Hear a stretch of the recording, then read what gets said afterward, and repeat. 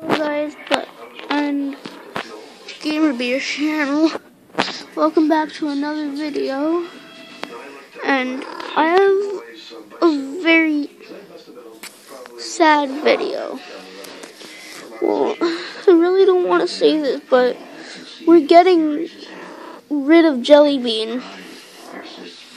And we'll have to get a hamster. I really don't want to get rid of Jelly Bean, but we have to because she used to live in the wild and she keeps trying to run out whenever we go outside. And she keeps peeing everywhere. So I will get a hamster. But please say in the comments below if you want to keep if you want me to keep Jelly Bean. Well, peace out. Yo.